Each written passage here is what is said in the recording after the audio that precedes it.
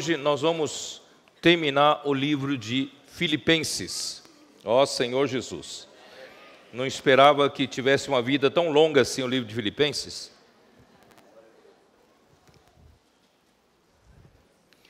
E nós, graças a Deus, o Senhor nos trouxe tanta riqueza, tanta riqueza, que para mim mesmo, irmão, foi uma surpresa o livro de Filipenses. Ontem à noite, nós falamos um pouco sobre a diferença entre a sublimidade do conhecimento de Cristo Jesus e da, do conhecer a Cristo. Então, conhecer a Cristo é um passo mais adiante. Todos nós precisamos ganhar revelação. Todos nós ganhamos, precisamos ganhar a visão, né? Assim como Pedro, a ele foi dada a visão de quem era realmente Cristo. Ele diz: "Tu és Cristo, o filho do Deus vivo". E Jesus disse que não foi nem carne nem sangue quem te revelou, mas foi meu Pai que está nos céus quem te revelou, revelou a Cristo. Portanto, irmãos, nós precisamos de revelação. Para nós sermos salvos, aceitarmos a Jesus como nosso Salvador, foi necessário nós conhecermos a Cristo. E Cristo, né, se nós pedimos a revelação, Pai nos revela, o Pai quer nos dar a revelação de Cristo. Mas Cristo também quer nos revelar a sua igreja. Então, se você buscar a Cristo, e pedir a Ele a revelação sobre a importância da igreja, que é a igreja, tenho certeza que Cristo te revelará. Então nós precisamos desse da sublimidade, conhecer a sublimidade do conhecimento de Cristo. Isso vai deixar você tornar todas as demais coisas, irmãos, insípidas, sem sabor, sem gosto. Irmãos, até mesmo ganhar dinheiro vai se tornar sem sabor. Você ganha dinheiro porque precisa ganhar dinheiro, mas irmãos, o seu, né, o seu alvo principal, irmãos, é ganhar mais de Cristo. Então, graças ao Senhor pela revelação, pela visão, e nós precisamos tê-las para poder realmente deixar como todas as outras coisas como refúgio e tomar né, essa, esse conhecimento da sublimidade do conhecimento de Cristo como o grande lucro. Todavia, irmãos, ninguém vive somente de revelação, somente de visão. Você pode até ser um bom pregador para os outros, porque você viu a, a, a, teve a revelação de Cristo à igreja, mas você pode ser uma pessoa ainda superficial, espiritualmente falando. Portanto, irmãos, depois de ganharmos a visão e a revelação, nós precisamos conhecer a Cristo conhecer a Cristo de uma maneira subjetiva. E conhecer a Cristo, irmãos, é levar o nosso eu à morte.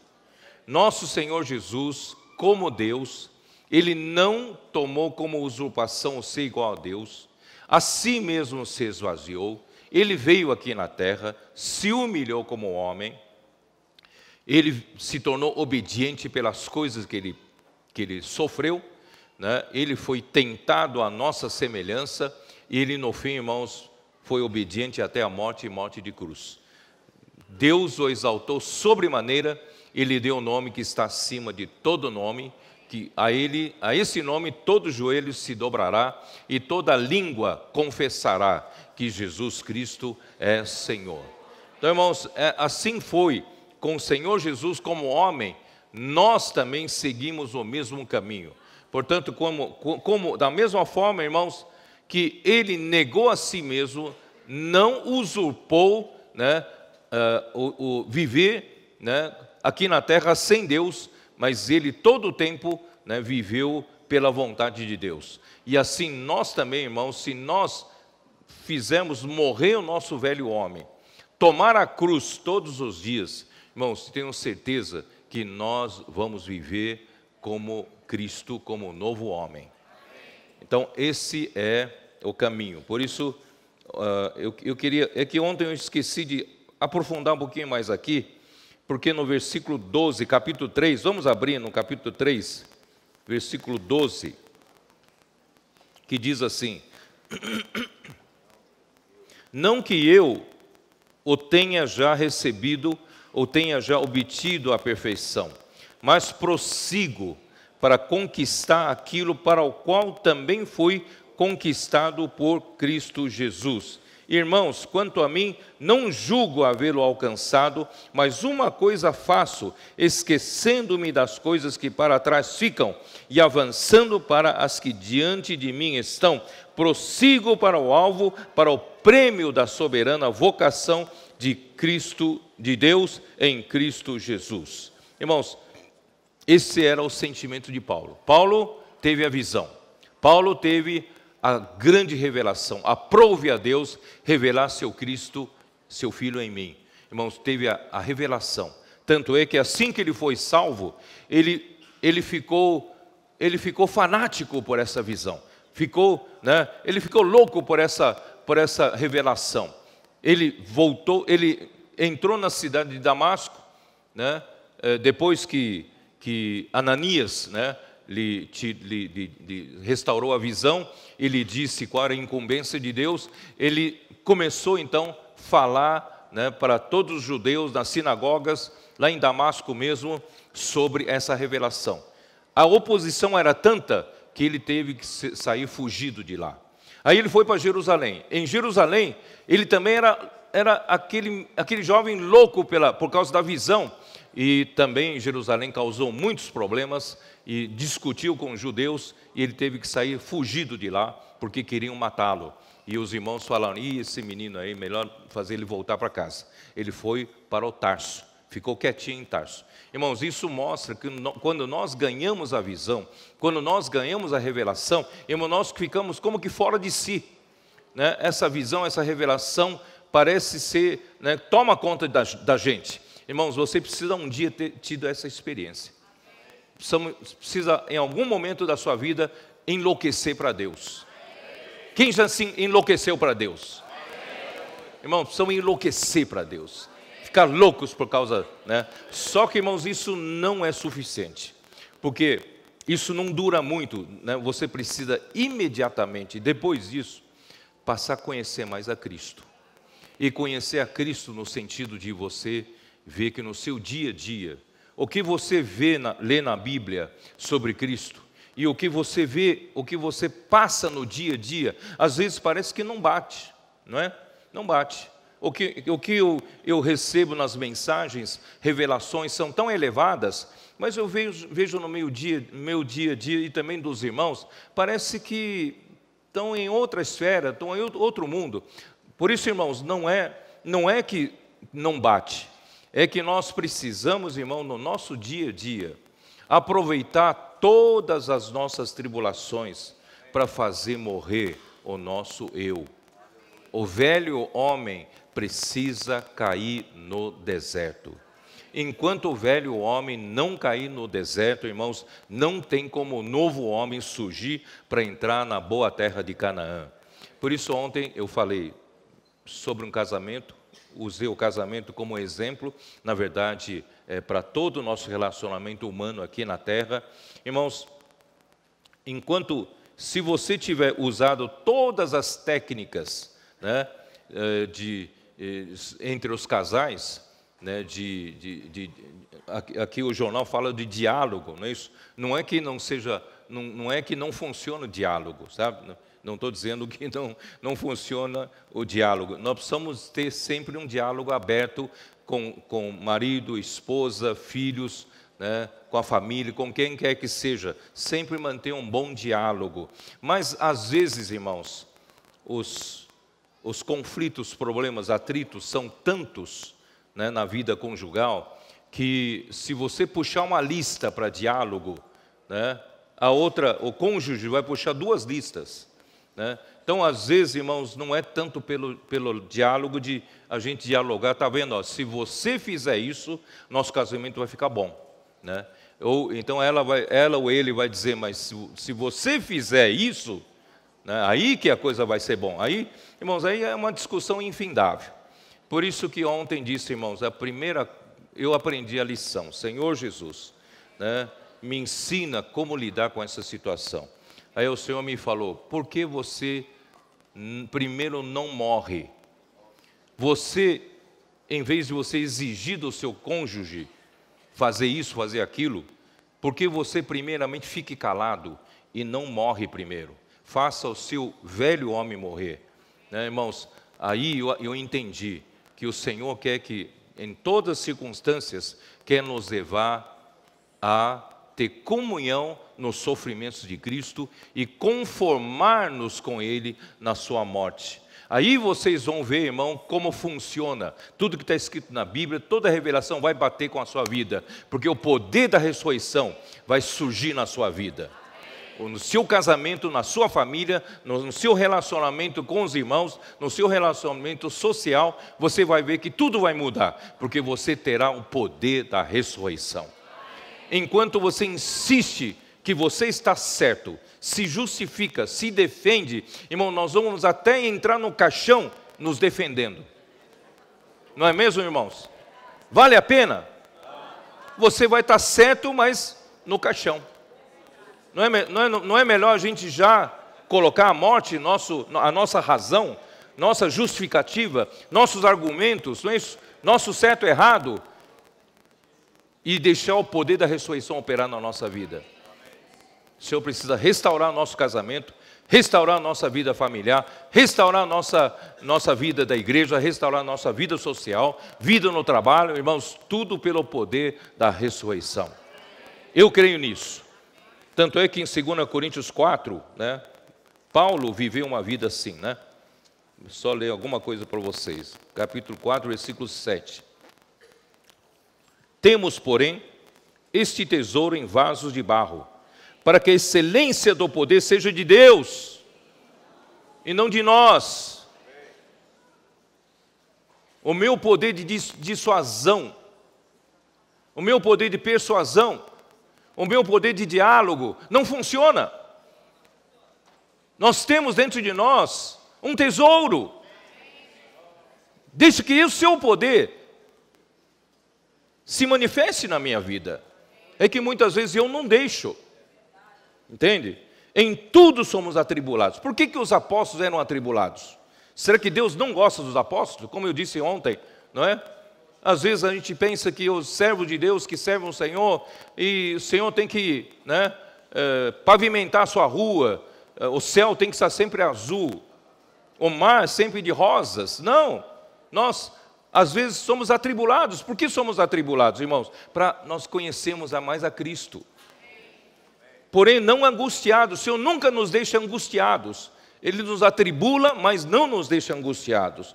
Perplexos, porém, não desanimados. Porque o objetivo é positivo, o objetivo não é negativo.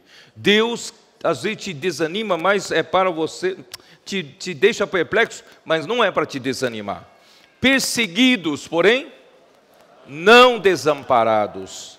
Abatidos, porém, não destruídos. Não fomos abatidos, mas não fomos destruídos.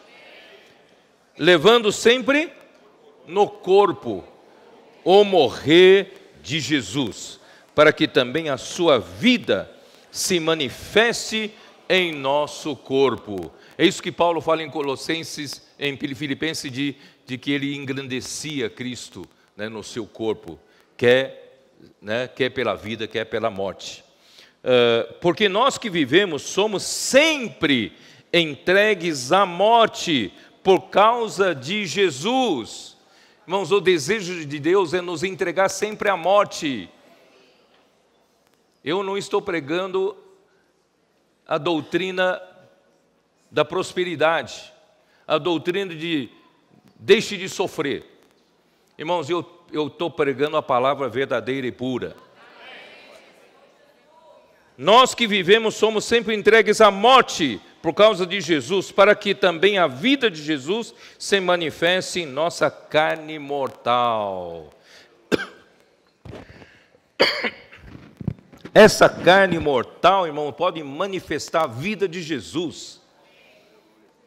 De modo que em nós opera a morte, mas em vós a vida tendo, tendo porém o mesmo espírito de, da fé, como está escrito, eu criei, por isso é que falei, também nós cremos, por isso também falamos.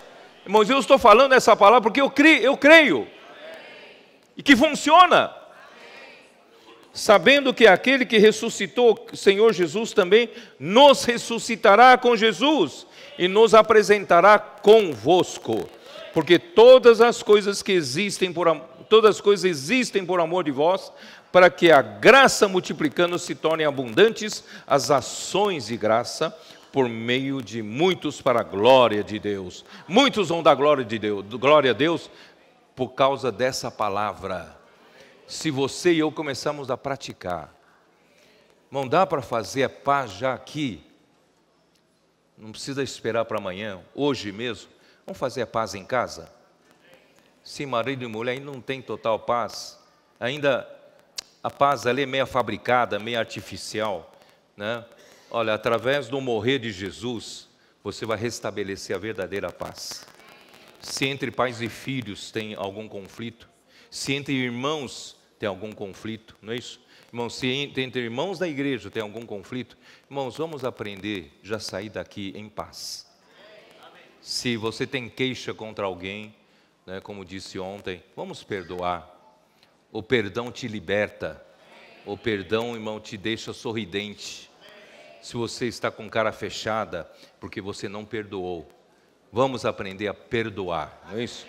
Então, irmãos, versículo 16: Por isso não desanimamos, pelo contrário, mesmo que o nosso homem exterior se corrompa, esse sofrimento, irmãos, são para que o nosso, né, o velho homem, que está juntamente com esse homem exterior, esse homem exterior é esse, né, essa casca aqui, irmãos, ele vai se deteriorando né, com a idade. Mesmo que esse nosso homem exterior se corrompa, contudo, o nosso homem interior se renova de dia em dia. Ó oh, Senhor Jesus, eu não me sinto velho cada dia que passa, eu me sinto mais renovado.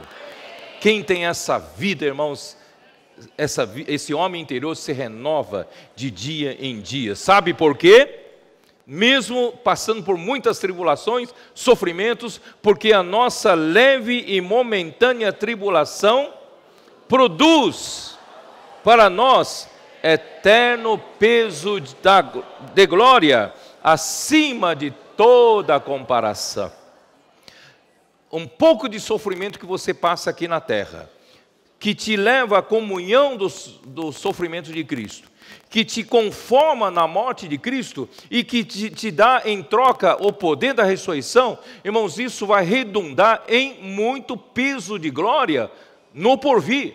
Quando o reino vier, você será alguém com muito peso da glória. Versículo 18: Por isso nós não atentando, não atentando nós nas coisas que se veem.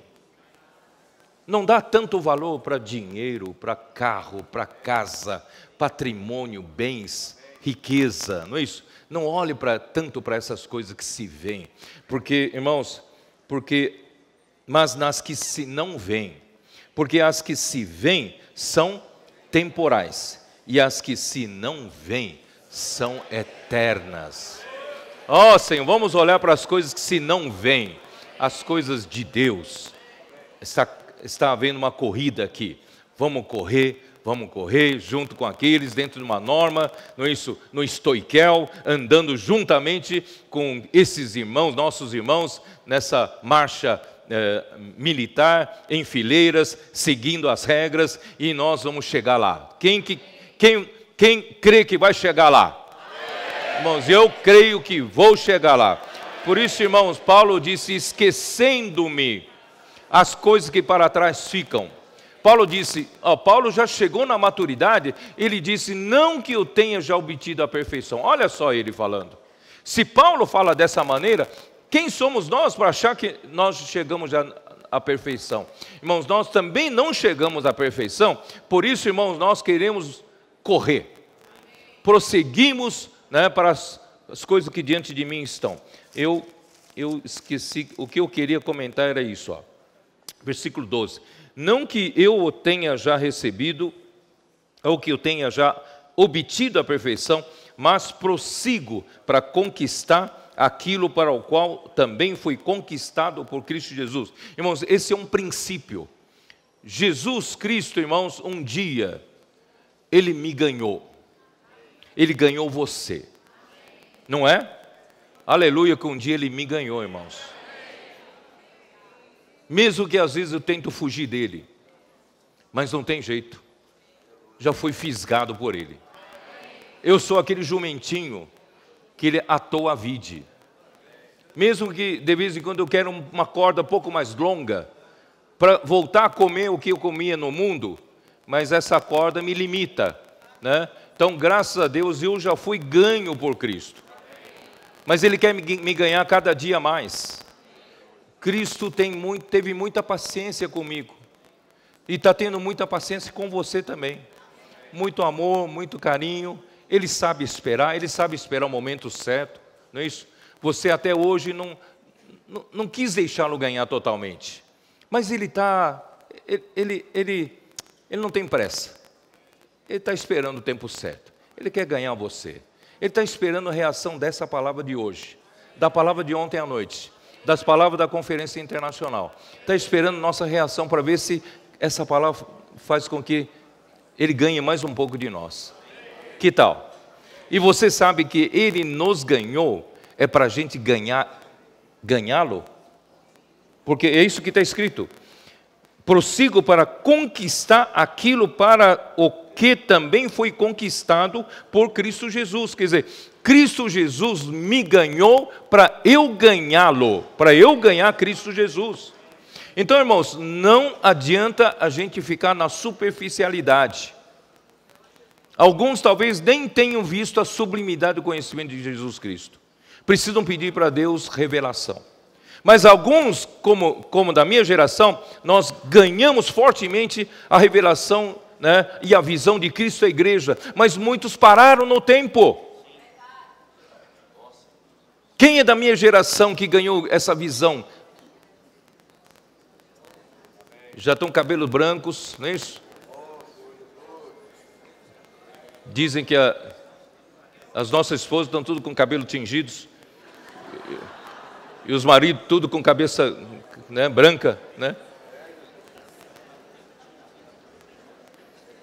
Alguns pararam de reunir, alguns se afastaram, alguns se esfriaram, porque, irmãos, a sublimidade do conhecimento de Cristo Jesus te dá esse ânimo, esse entusiasmo, mas você tem que dar prosseguimento a ele.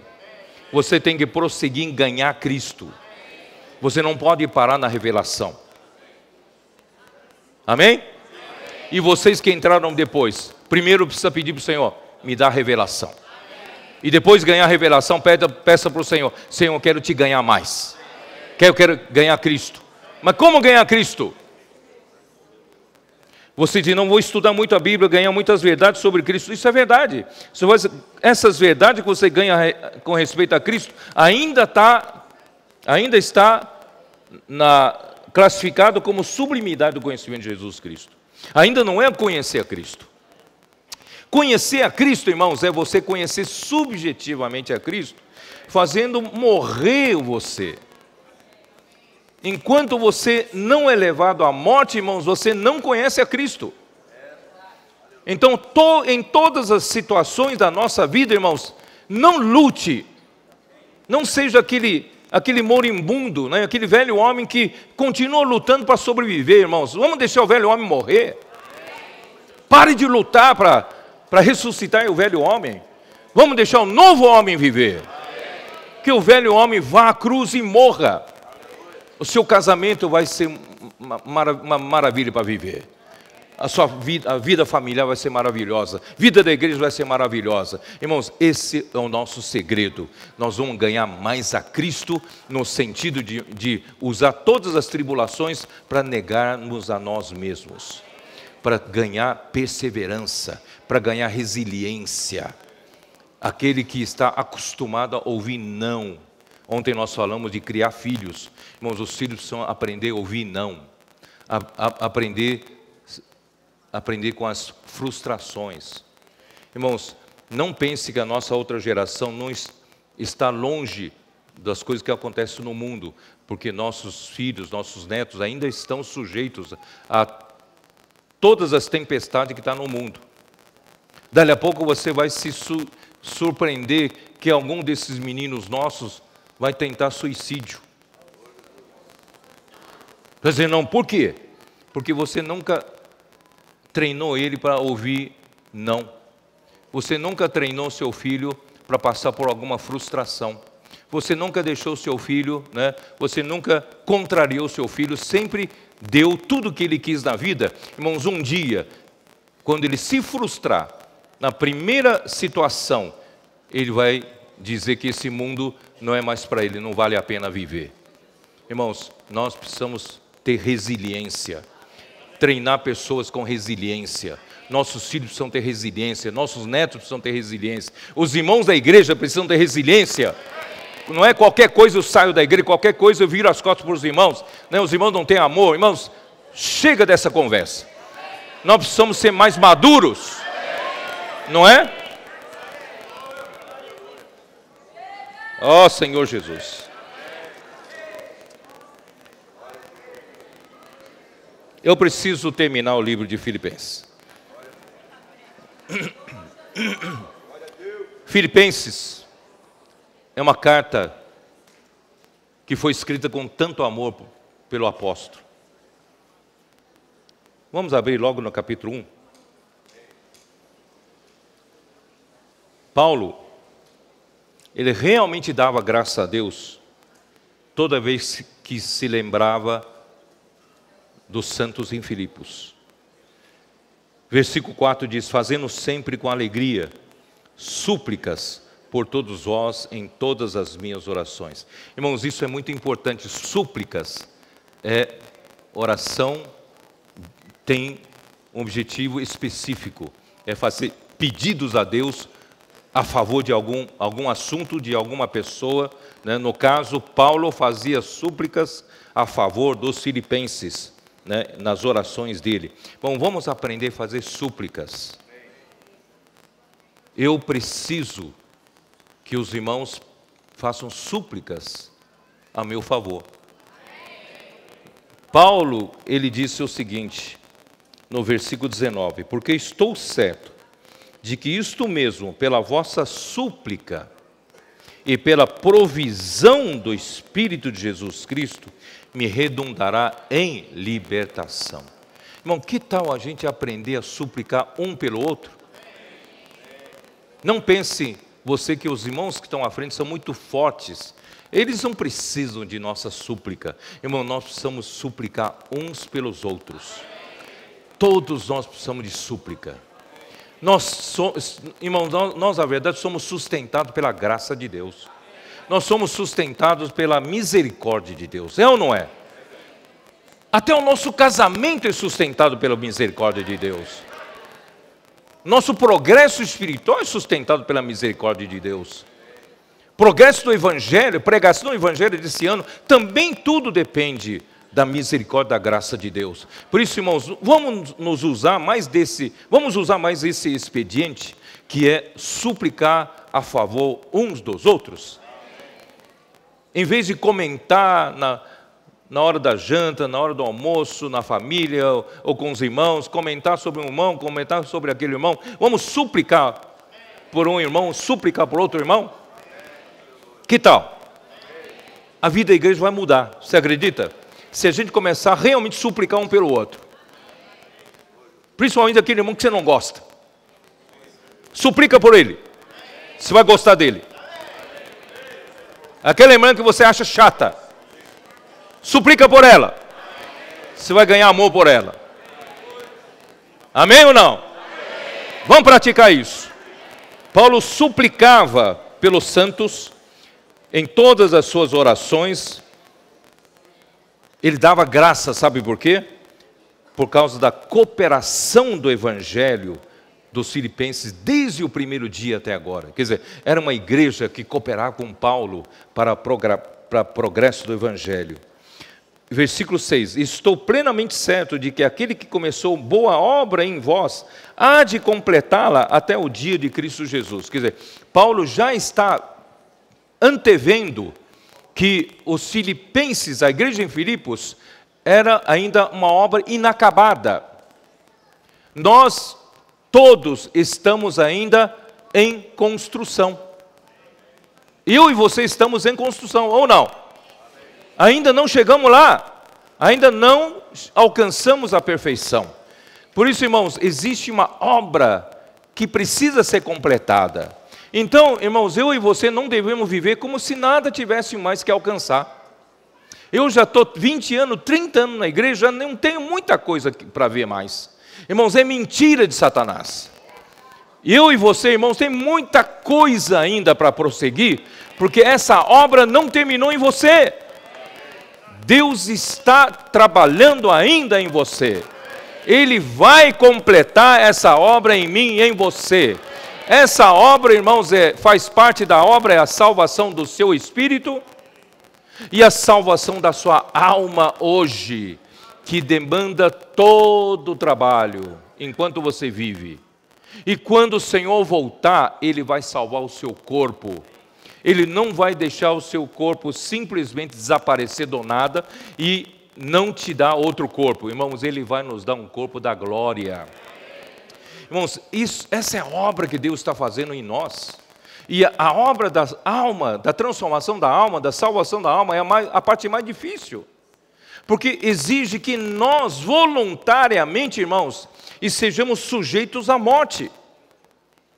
Mas geralmente é aí que está a nossa dificuldade. Nós nos defendemos, nós nos justificamos, nós argumentamos. Aí vem todas as brigas dos casais, todas as brigas entre os irmãos, todas as brigas entre os seres humanos, cada um se defende. Irmão, vamos parar de defender esse velho homem que não vale a pena. Ó oh, Senhor Jesus porque tem uma obra que Deus vai completar até o dia de Cristo Jesus. Aliás, é assim, é justo que eu assim pense de todos vós, porque vos trago no coração, seja nas minhas algemas, seja na defesa e confirmação do Evangelho, pois todos sois participantes da graça comigo. Irmãos, graças a Deus que Paulo tinha os filipenses né, como seus cooperadores. E logo em seguida, do versículo 12, em diante, Paulo mostra que, irmãos, esse caminho que nós estamos trilhando, esse caminho é verdadeiro, esse é o caminho de Deus, e esse caminho funciona. O próprio apóstolo, que quatro anos atrás, quando escreveu 2 Coríntios, ele já vinha enfrentando tantos problemas desde quando escreveu o livro de Gálatas, que os judaizantes iam prejudicar sua obra por onde quer que ele pregava o evangelho, por onde quer que ele levantava igrejas. Iam um judaizante dizer: não basta apenas crer em Jesus, que precisa também praticar a circuncisão, também guardar a lei de Moisés. E Paulo ficou extremamente irado, aborrecido com tudo isso.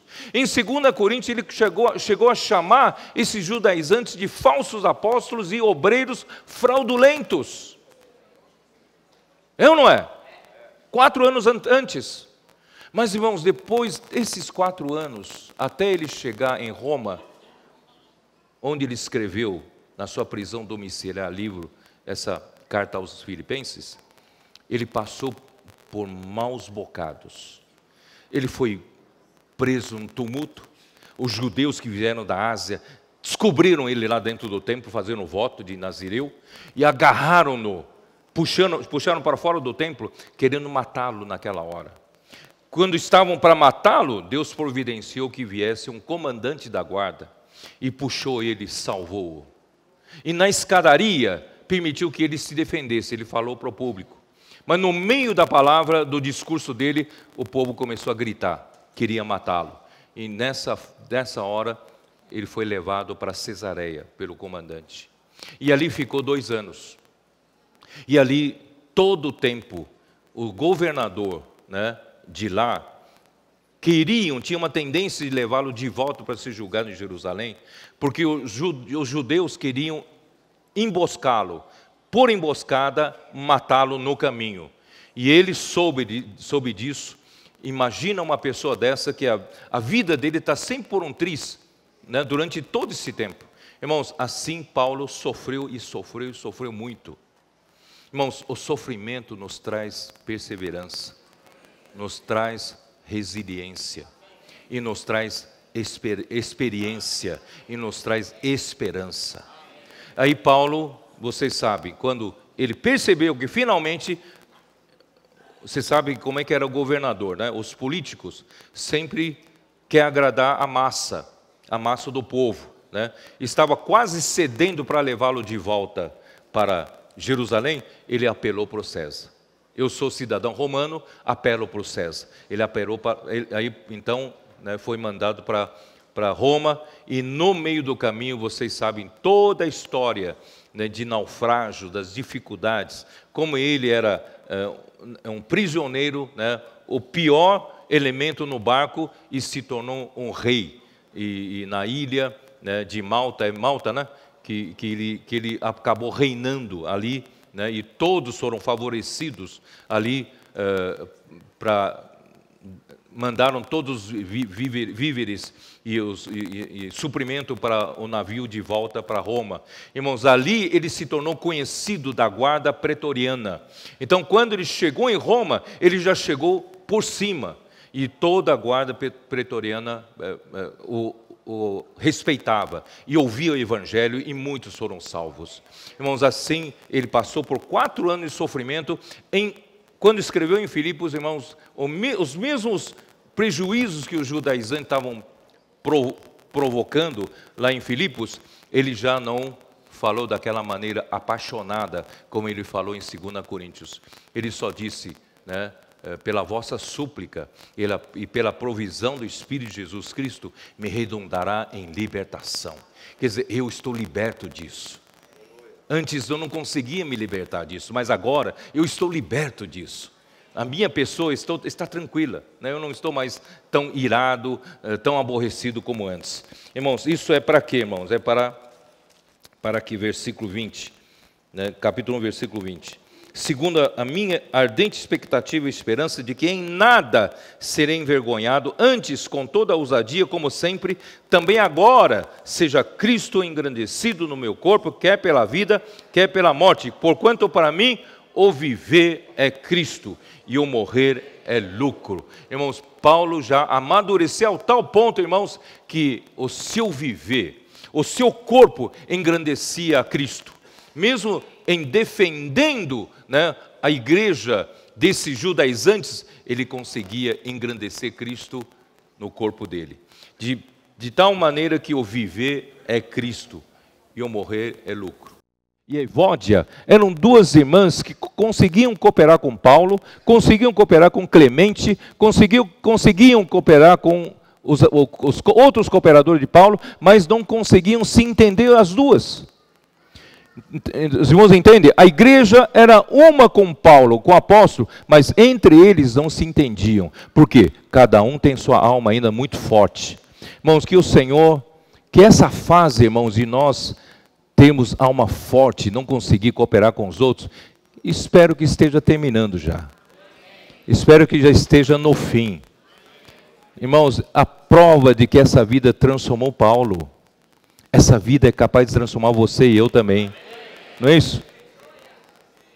Vamos lutar juntos pela fé do Evangelho. Não vale a pena lutar junto pela fé do Evangelho, para o progresso do Evangelho, fazer a defesa, confirmação do Evangelho. Esse ano é ano do Evangelho.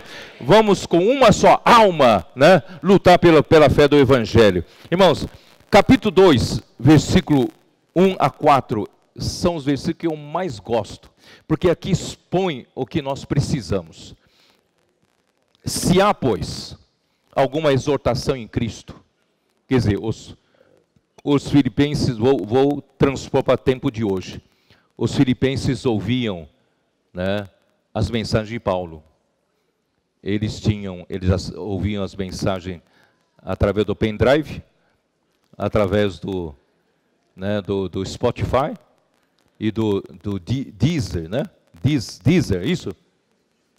E, e acesso, né? Hã? Acesso né, ao portal, eles ouviam mensagens. Então eles tinham exortação em Cristo. Eles tinham consolação de amor.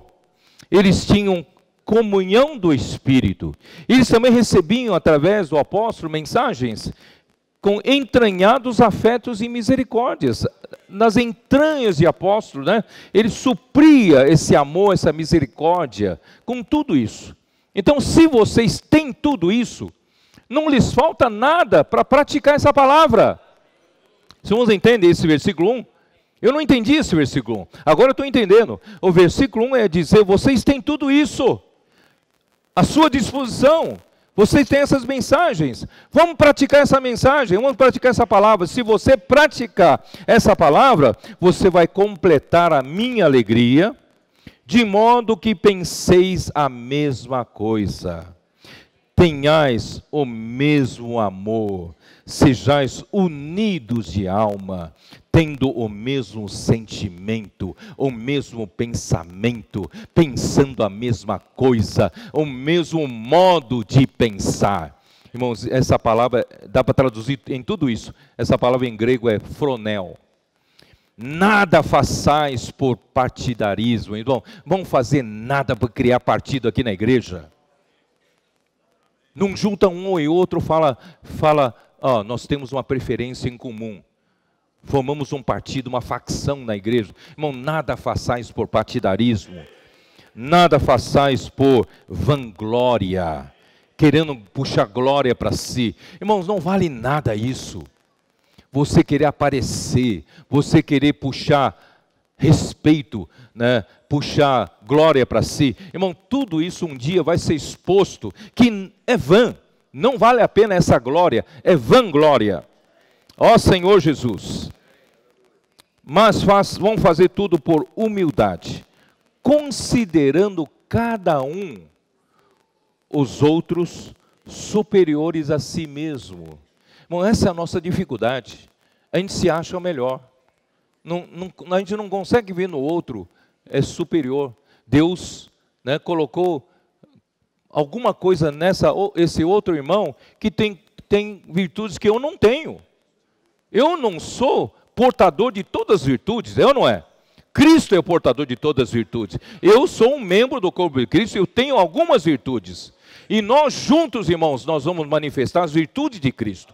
Então nós, eu sozinho, eu preciso dos outros. Então sempre os outros têm alguma coisa que eu considero superior. É ou não é? E bom, uma boa, bom irmão, uma boa pessoa que está na liderança, é, ele não precisa saber de tudo, não precisa ter todas as virtudes do mundo, não. Ele precisa aprender, fazer a inclusão de pessoas que têm essas virtudes. Ele precisa aperfeiçoar e colocar essas pessoas do seu lado para fazer a obra juntos. Colocar mesmo um jugo. É ou não é? Não seja você uma pessoa peculiar que não consegue se, se considerar ninguém superior a você. você. Você é o top de tudo, você sabe fazer tudo. Irmão, não seja assim. Os outros sempre têm, né, considerar os outros superiores a nós mesmos. Não tenha cada um em vista o que é de Cristo Jesus, do que é seu, senão também cada qual o que é dos outros. Irmãos, vamos aprender a ter empatia aprender a sentir o que os outros sentem, a necessidade que os outros estão passando. Não critique facilmente, não julgue facilmente, porque você não sabe a circunstância em que esse irmão se encontra, essa pessoa se encontra. Não é verdade, irmãos? Vamos abrir nosso coração para considerar, não é isso? Para ter em vista também o que é dos outros, ter essa empatia. Irmãos, tudo isso nós temos um modelo que é Cristo. Ele não foi egoísta, ele deixou a glória lá no céu, ele era Deus, mas ele se esvaziou. Sabe que essa palavra esvaziar-se em grego é tornar-se anular. Quer dizer, ele era próprio Deus, mas não quer dizer que ele não é mais Deus, mas ele zerou para poder se tornar um homem, verdadeiramente como homem, irmãos, ele zerou nessa parte de ser igual a Deus. Quer dizer, ele não veio com a carteirinha de Deus aqui na terra. Ele se, se esvaziou e também se humilhou como homem. Como homem, ele se humilhou, negou-se a si mesmo a todo o tempo, aprendeu por meio dos sofrimentos a obediência ao Pai. Irmãos, ele morreu por nós, mas Deus o exaltou. Irmão, esse mesmo caminho acontece na igreja. Se você busca glória, vanglória, Deus vai te abafar, porque Deus resiste aos soberbos. Mas se você busca humildade, Deus vai te, um dia, Deus vai te exaltar. Irmãos, Cristo em nenhum momento buscou nada para si, só ficou obediente ao Pai. Irmãos, até morreu uma morte mais vergonhosa. Irmãos, o Senhor o exaltou. E todo joelho hoje tem que dobrar né, diante desse nome. Um, um dia toda língua vai ter que confessar mesmo aqueles que hoje resistem tanto ao nome de Jesus, eles vão ter que confessar que Jesus Cristo é o Senhor. Irmãos, por isso acredite, acredite. Se você hoje foi levado a uma situação de morte, se você hoje foi injustiçado na igreja, ou injustiçado na sociedade, injustiçado na sua família, no seu casamento, não se defenda. Deixa o Senhor trabalhar na sua morte. No momento certo, depois da morte vem a ressurreição. E na ressurreição Deus vai te exaltar. No momento certo você será exaltado para ser útil na obra do Senhor. Acredita nisso? Irmãos, eu já tenho experiência demais nesse sentido. Quantas vezes o Senhor fez a sua obra. Por isso, irmãos, não lute contra o Senhor. Aí, do versículo 12 adiante do capítulo 2, mostra, ó Senhor Jesus, que nós temos uma salvação para desenvolver.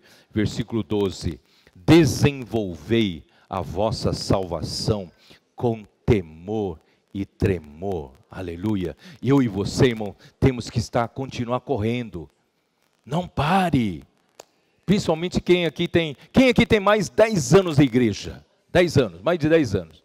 Quem tem mais de 20 anos de igreja? Olha só quanta gente.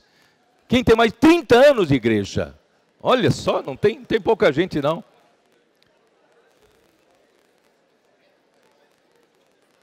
Quarenta anos? Você já já está satisfeito? Ou você continua desenvolvendo a sua salvação com temor e tremor? Irmãos, eu quero continuar, irmãos, esquecendo as coisas que para trás ficam, mesmo experiências boas, não quero esquecer, quero prosseguir. Porque eu preciso terminar de desenvolver a minha salvação. A minha alma tem muita coisa ainda para ser salva pelo Senhor.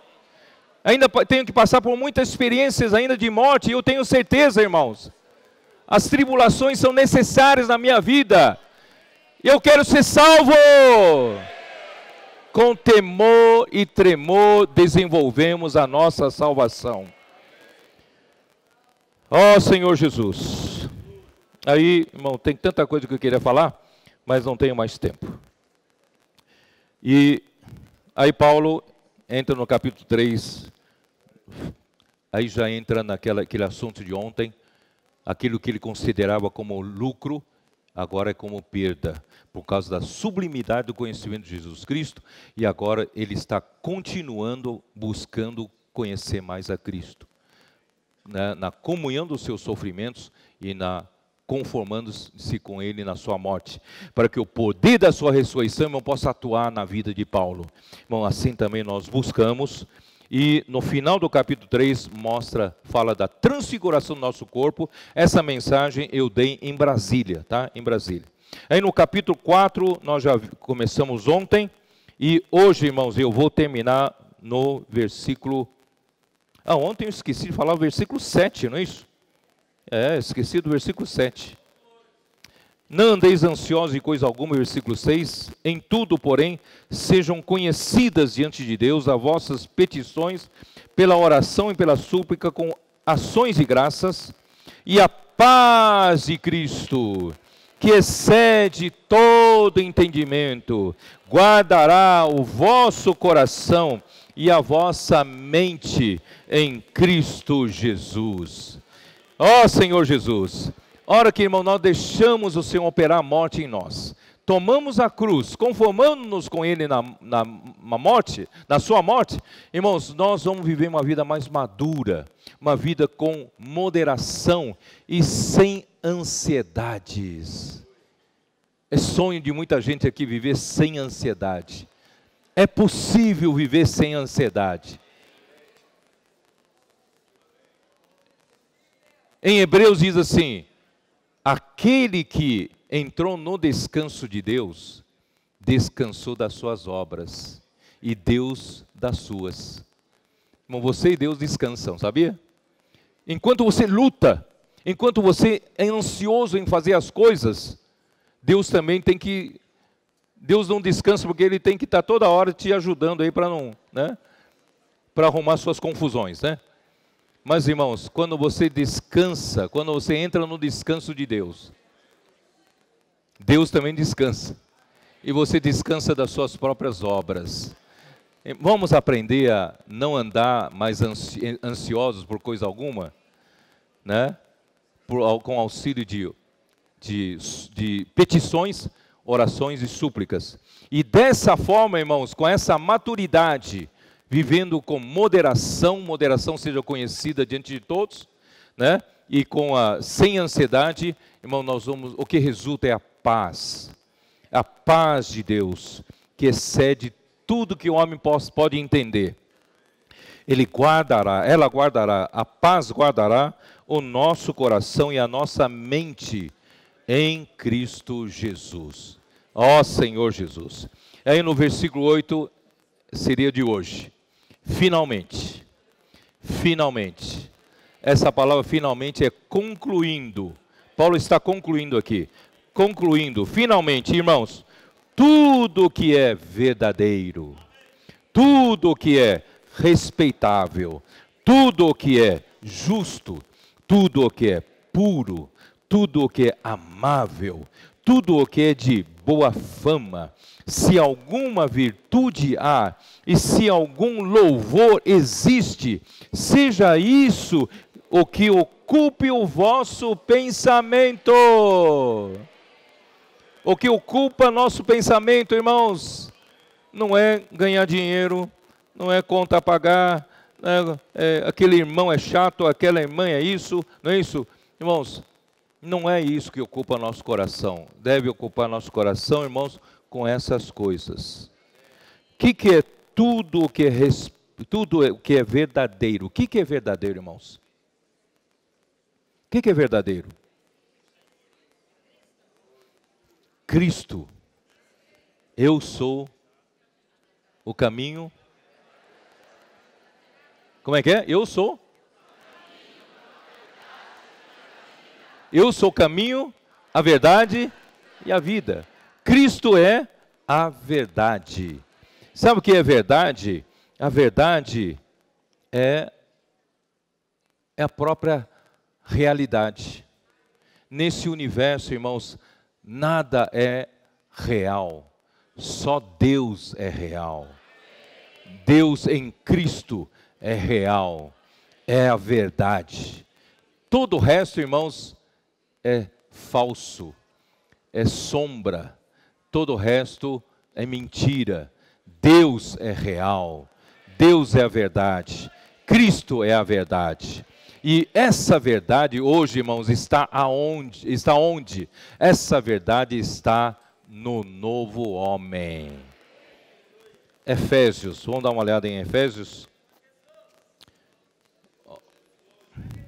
Olha quem nós éramos, capítulo 4 de Efésios, versículo 17. Você pensa que você tem verdade, você é verdadeiro? Você acha que é verdadeiro, mas não é. Isto, portanto, digo e no Senhor testifico, que não mais andeis como também andam gentios, na vaidade dos seus próprios pensamentos. Irmãos, ninguém se engane. Enquanto eu e você vivemos no velho homem, na, nos nossos pensamentos continua a vaidade. A vaidade significa nulidade, não vale nada, vazio. Tudo que nós pensamos, maquinamos, é um vazio. Irmão, não tem a verdade, a verdade é Deus, é Cristo. Obscurecidos de entendimento, alheios à vida de Deus por causa da ignorância em que vivem, pela dureza do seu coração, os quais, tendo se tornado insensíveis, se entregaram à dissolução para com avidez cometerem toda sorte de impureza. Irmão, você quer continuar vivendo assim? Deus me livre. Eu aceitei o Senhor justamente para me ver livre desse tipo de vida. Só que, irmãos, enquanto eu viver no velho homem, essas coisas ainda existem em mim. Ainda os resquícios do velho homem continuam me puxando para essa vaidade dos pensamentos, para viver na vaidade dos pensamentos. Eu preciso da verdade. Eu preciso da realidade. Preciso que o Senhor me encha com verdadeira consistência da verdade, né? Por isso no versículo 20 assim, mas não foi assim que aprendestes a Cristo. Irmão, nós aprendemos não só de Cristo, mas nós aprendemos a Cristo. A própria verdade, irmãos, é, é Cristo. E nós o aprendemos. Nós vamos tomando essa verdade para dentro de nós como nosso conteúdo. Não é? Cristo veio para nos dar a verdade se é que de fato tendes ouvido e nele fostes instruídos, segundo é a verdade em Jesus. Só a verdade em Jesus. Você vai dizer, não, peraí, eu sou um homem que nunca minto. Eu não sou homem falso, não. Eu nunca ajo politicamente com fingimento. Eu sou homem verdadeiro. Irmãos, ainda que você seja um homem verdadeiro no comportamento, a verdade só existe uma: é Cristo no sentido de que, quanto ao trato passado, vos despojeis do velho homem, que se corrompe segundo as concupiscências do engano. Irmãos, não seja enganado. Enquanto você viver no velho homem, o engano está por trás de tudo. O engano te atrai, te engana por meio das concupiscências concupiscência dos olhos, né? Ah, essas concupiscências, essas paixões me levam ao engano. O engano é o inverso da verdade. Você quer continuar vivendo no engano? Né? Tem gente engano que, engano que eu gosto. Então, tem gente que gosta de viver no engano. Eu não quero ficar no engano. Então, irmãos, vamos sair logo do velho homem Virando a página, vamos lá, versículo 23. E vos renoveis no espírito do vosso entendimento, da nossa vossa mente. Irmão, vamos renovar nossa mente. Colocar nossa mente no espírito. Pensai nas coisas lá do alto. Vamos começar a mudar aqui, ó. Você quer ter verdade? Você quer ter realidade? Irmãos, começa trabalhando com a mente a mente, coloque a mente no espírito, pensando nas coisas lá do alto, não atentando para as coisas que se veem, mas para as coisas que se não veem, que são eternas. E vos revistais do novo homem, criado segundo Deus em justiça e retidão ou em santidade, procedentes da verdade. Essa verdade que é Cristo, essa verdade que é Deus, que é a própria realidade, irmãos, dela procede a justiça, dela procede a retidão, dela procede a santidade. Por isso, irmãos, o que, que é tudo que é o que é verdadeiro? Seja o que ocupe o seu pensamento. Tudo que é o verdadeiro, irmão, pensar em Cristo pensar nas coisas lá do alto, pensar nas coisas como o novo homem. Irmão, pare de viver no velho homem. Né, vamos voltar lá. Tudo que é, tudo que é respeitável. Já falei tudo que é verdadeiro, não é isso? Tudo que é respeitável. O que, que é respeitável? Respeitável, ó Senhor Jesus. Meu tempo está acabando, né? Respeitável, em grego é semnos, ele é tem o significado de venerável pelo caráter, honorável, ou seja, digno de reverência, é nobre, sério e tem um sentido, é aí onde eu quero explorar, tem um sentido de dignidade, peso e valor. Quando dei uma série de mensagens sobre a glória, eu fui pesquisar a palavra glória em hebraico, que tem, né? Vocês lembram que eu falei para vocês, né? Que é cabot, não é isso? Não é o icabot. Icabot é foi-se a glória, né?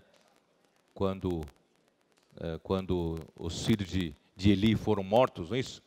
Icabot. Acabou é a glória de Deus. Acabou é a glória de Deus, claro, é a sua é resplendor, é o brilho, né? É, é majestade, mas tem essa mesma palavra glória na sua raiz tem um sentido de peso e dignidade. Lembra que eu falei sobre isso? Irmãos, essa palavra, tudo que é respeitável, também tem esse sentido de peso e e dignidade. Irmãos, nós nunca devemos perder a nossa dignidade. Tiago fala para aqueles que são de vida mais simples. Vamos dar uma olhada, vai. Tiago. Você pode não ter dinheiro, mas você tem a dignidade. Capítulo 1, Tiago, versículo 9.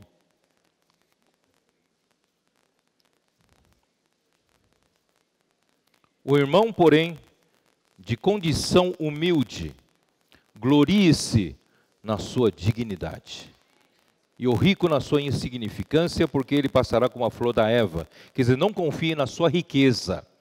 E você que é pobre, na condição mais humilde, também não lamente a sua condição financeira, porque você deve se gloriar na sua dignidade.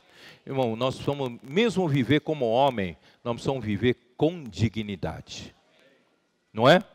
Se você não tem muita condição financeira, mas irmãos, a gente não precisa viver como que pedinte, como mendigo. Irmãos, nós, o Senhor tem nos suprido o pão de cada dia. Não é mesmo, irmãos? Isso nos basta. Vamos viver com dignidade. Não é aquele que jejua, faz uma cara de fome, para alguém convidar ele a comer uma boa refeição. Não é, é aquele que serve o Senhor, serve o Senhor em tempo integral e, e sempre fazendo-se de pobre para os outros pagarem a conta dele. Né? Irmão, nós não precisamos fazer isso. Nós temos a nossa dignidade. Amém? Vamos viver com dignidade? Eu posso ser pobre, mas eu não não abandono minha dignidade. Não é mesmo, irmãos? Dignidade. E essa dignidade, irmãos, é tem a ver com respeitável e peso. Uma pessoa leviana não é respeitável. Uma pessoa que tem peso não é físico, não é peso físico, né? Eu não estou falando de a mim, não, né? Uhum. Hã? Uma pessoa, não, a mim tem peso, tem peso. Não, não só físico, tem peso. Né? Esse peso vem da comunhão com o Senhor. Esse peso vem entrar na esfera da glória do Senhor através da oração. Irmãos, aprenda a viver mais tempo na presença do Senhor. Quanto mais tempo você vive na presença do Senhor, mais da glória de Deus vai ser infundida em você. E essa glória no Novo Testamento, glória do Espírito, não desvanece. Ela é permanente. Ela vai te dando o quê? De glória em glória e vai te transformando de glória em glória, que isto é, cada vez mais você vai tendo mais peso. Aí a sua palavra não é só no meio dos irmãos, mesmo lá fora, a sua palavra tem peso, porque você é alguém que tem realmente peso da glória, peso do respeito, peso de Deus. Amém, irmãos? Vamos buscar esse peso. Isso vale a pena. Aí, irmãos, você será respeitável. As pessoas respeitam porque você tem peso, você, você tem dignidade, tá? Então, Paulo, uh, lembra que em 1 Tessalonicenses 4, 9 a 12, apenas toma nota isso, 1 Tessalonicenses 4, de 9 a 12, Paulo fala para cada um aprender a trabalhar com as suas próprias mãos, viverem tranquilamente, né, com diligência, de modo que se comportem com dignidade para com os de fora e nada venham a precisar. Quer dizer, em Tessalônica tinha um problema que alguns não queriam trabalhar e viviam de casa em casa, casa dos irmãos, para comer, esvaziar a geladeira dos irmãos. Né? Então, então Paulo falou: não, não viva desse jeito. Não viva desse jeito. Não que, irmão, nós não possamos viver abrir nossa geladeira para os irmãos, não mas não para mal acostumar os irmãos, né? Cada um tem que ter a sua dignidade. Então, para ter dignidade, que trabalhe. Precisa trabalhar, tá? Então, amém. E os últimos estágios da transformação, da salvação da nossa alma, transformação, salvação orgânica, são renovação da mente, transformação, conformação e glorificação a glorificação já é o último, último, a última etapa. A glória de Deus já estará totalmente acrescentada em mim. Eu terei peso total, né? Eu terei dignidade total. Mas se eu estou no estágio de respeitável, já estou a caminho disso, não é isso? Já estou pertinho disso. Quanto mais eu sou renovado na minha mente, mais eu sou transformado na minha alma, mais eu sou conformado à imagem de Cristo e mais eu sou glorificado. Irmão, que maravilha! Nós queremos ver logo uma igreja assim madura, né? É, é, é por isso que nós estamos liberando essas mensagens, para a gente chegar logo lá, né? Então, ó Senhor, vamos continuar. Eu preciso terminar. Filipenses 4. Tudo que é justo. O que é ser justo, irmãos? Eu vou definir muito simplesmente. Tudo que é justo é ser correto diante de Deus e diante dos homens. É isso. Né? Você seja uma pessoa correta diante de Deus e diante dos homens. Sendo assim, tudo que é justo, tudo que é amável, é tudo que é puro, irmãos, puro é singelo, é pureza de coração na intenção e também na ação, sem mistura, né? ser recatado, ser limpo e ser casto. Né? Então, uh, o Senhor, em Salmo 24, diz assim: Quem subirá ao monte do Senhor? Quem há de permanecer no seu santo lugar? O que é limpo de mãos e puro de coração e não entrega sua alma à falsidade, nem jura dolosamente. Versículo de 1 a 4, Salmo 24, de 1 a 4. Eu estou falando só isso, não tenho tempo, mas estou apenas registrando isso no áudio. Tá? E também em 1 uh, eh, Timóteo 1, 5, Paulo admoesta ao Timóteo que a admoestação dele visava ao amor que procede de coração puro e de consciência boa e de fé sem hipocrisia. Irmãos, como é importante ter coração puro. Não tenha coração com segundas intenções. Irmão, vamos tratar para que o nosso coração seja sempre puro. Como fazê-lo? 2 Timóteo 2:22. Seguir a justiça, a fé a, o amor e a paz com quem? Com os, de, os que de coração puro invocam o Senhor. Nós estamos todos juntos invocando ao Senhor. Eu creio que nós estamos com os que de coração puro invocam o Senhor. Então mantenha-se sempre, irmãos, puro de coração. Agora, tudo que é amável, Amável em grego é, é que significa aceitável, agradável, afetuoso, até belo. É, tudo o que é, é tudo que é de boa fama, de boa reputação, bom nome, é alguém, alguém que soa bem, soa bem. Irmãos, é importante a gente manter uma boa reputação, não é isso? Já pensou, a gente está aqui reunindo com os irmãos, aí um, trazemos um convidado, esse convidado vê você, opa, eu conheci aquele ali, ele, aquele ali defraudou 10 mil reais né, de mim, e ele está aqui sentado e louvando ao Senhor, né, quem é ele? Né? Irmãos, a gente acaba danificando todo o testemunho da igreja. Então vamos aprender, irmãos, a ser, cultivar uma boa reputação, boa fama. Não é as pessoas quererem nos perseguir, falar mal de nós né, despropositadamente, não é isso. Mas eu estou falando assim, cada um de nós procura construir um bom nome. Um bom nome leva a vida toda para construir. Pisou na bola uma vez pode destruir tudo que você construiu.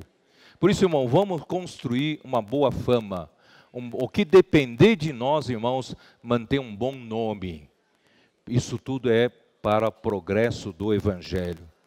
Tudo o que é né, de boa fama. E agora, se alguma virtude há, a palavra virtude, irmãos, é arete. Essa virtude significa excelência. Irmãos, já estou falando da excelência das virtudes de Cristo, das virtudes de Cristo sendo vivida em nós. Já estou chegando no final da vida da igreja madura, Irmãos, esse é o desejo de Paulo e também o nosso desejo para essa para o final do livro de Filipenses. Tudo que é porque nós somos, 1 Pedro 2,9 fala, nós somos aqueles que fomos chamados para proclamar, quem se lembra daqui o versículo? Para proclamar a virtude daquele que nos chama das trevas para a sua maravilhosa luz. E também, 2 Pedro, né, 1, 3, diz que Deus, pelo seu divino poder, nos tem sido doadas todas as coisas que conduzem à vida e à piedade, pelo conhecimento completo daquele que nos chamou para a sua própria glória e virtude. Glória e virtude. Irmão, nós precisamos ter essas virtudes sendo vividas por nós. A vida da igreja, tendo essa excelência, irmãos, não tem quem não queira viver a vida da igreja. Ó Senhor Jesus. Então, a virtude, na verdade, inclui tudo que eu falei, tudo que é verdadeiro, tudo que é respeitável, tudo que é justo, tudo que é puro, tudo que é amável, né, tudo que é de boa fama, inclui, tudo isso está, são as virtudes, que, que é a excelência das virtudes humanas, elevadas pelos atributos divinos. Irmãos, tudo isso está em 2 Pedro, capítulo 1. Vamos lá dar uma olhada? Para terminar? Ó Senhor, 2 Pedro 1, versículo 5.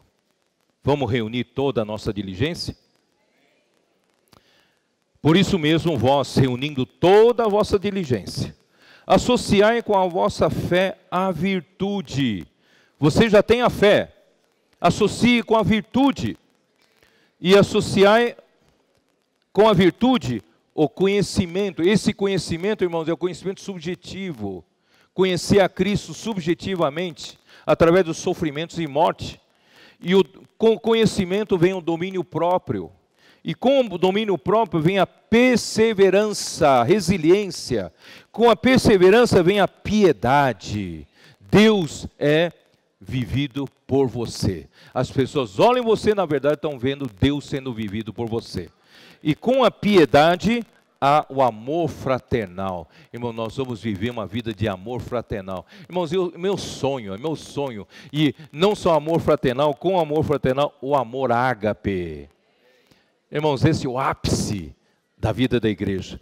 Porque estas coisas existindo em vós e em vós aumentando, fazem com que não sejais nem inativos, nem infrutuosos no pleno conhecimento de nosso Senhor Jesus Cristo. Tudo isso, irmão, existindo em nós, o progresso do Evangelho vai acontecer no nosso meio. Amém? Por isso,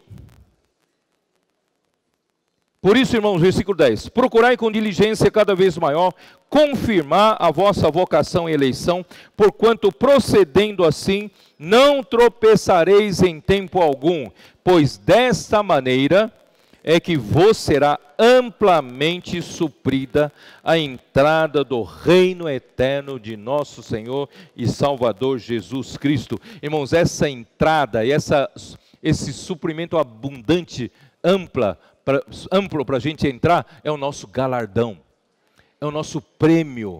É prêmio para quem está correndo e correndo bem, correndo de modo que alcance o prêmio.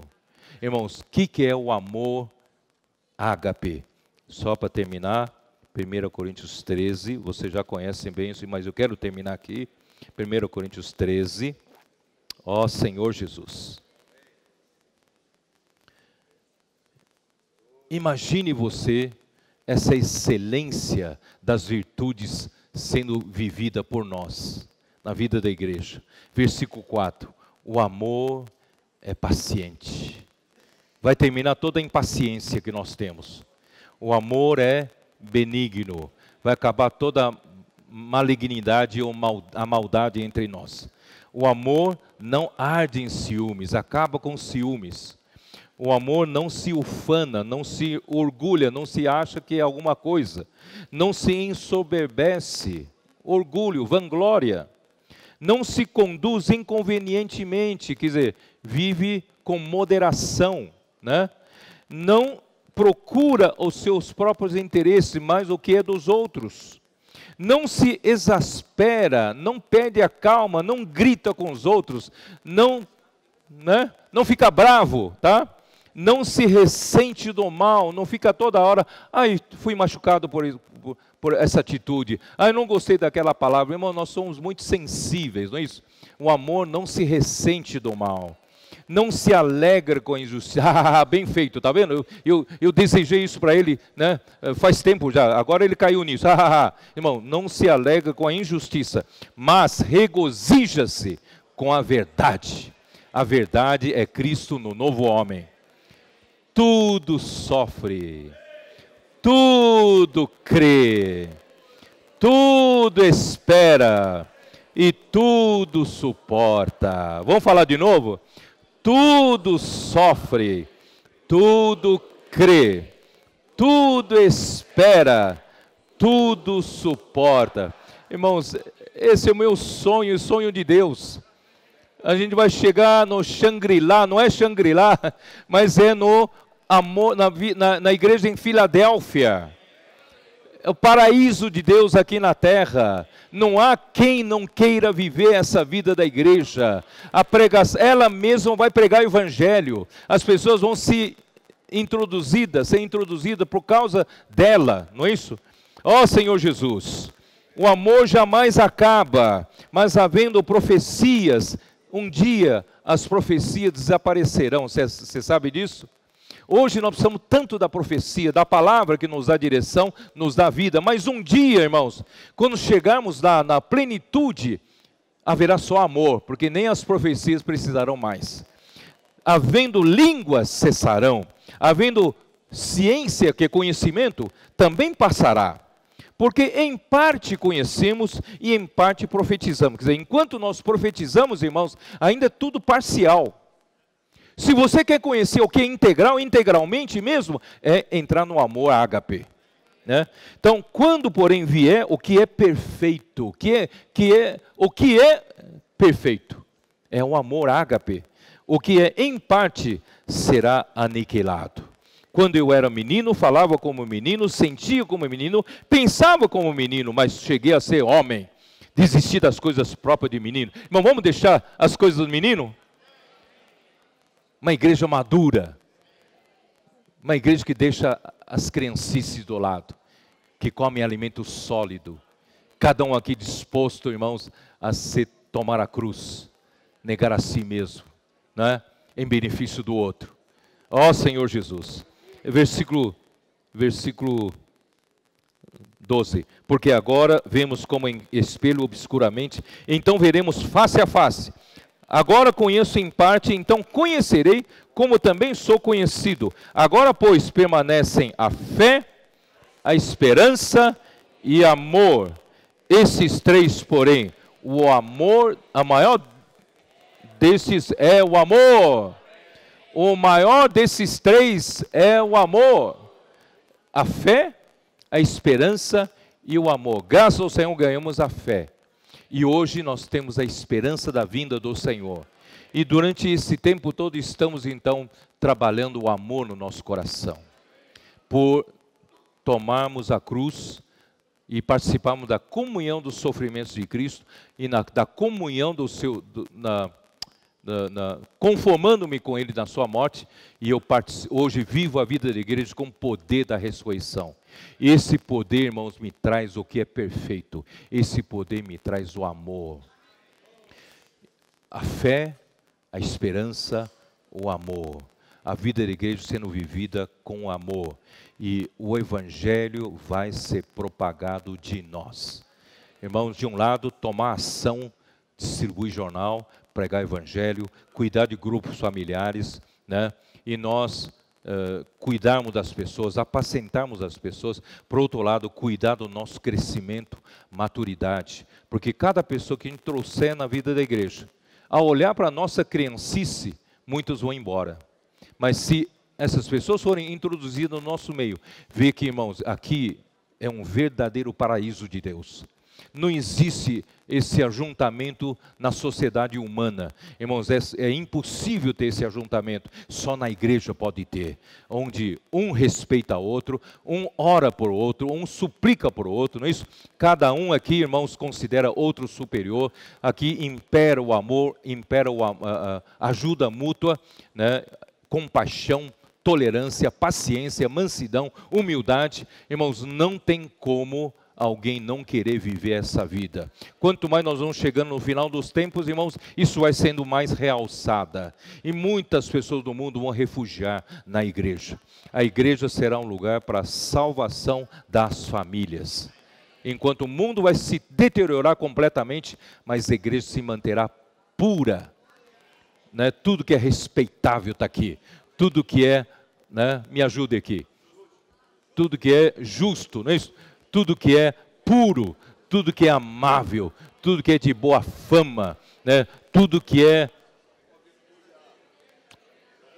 verdadeiro, esqueci o verdadeiro, tudo que é verdadeiro, e se alguma virtude há, e se algum louvor existe. O louvor, irmãos, vem quando tudo isso sendo vivido por nós, nós é, somos dignos de louvor. Deus é digno de louvor. Ó oh, Senhor Jesus, eu sonho com isso. É possível de se realizar? No nosso meio? Você tem fé que vai se realizar? Então comece por você mesmo. Comece no seu casamento, na sua família, seu grupo familiar, na igreja, amém? No, no seu trabalho. Vamos ainda colocar-nos de pé, vamos né, compartilhar um pouco em grupo para a gente ganhar mais ainda, tá?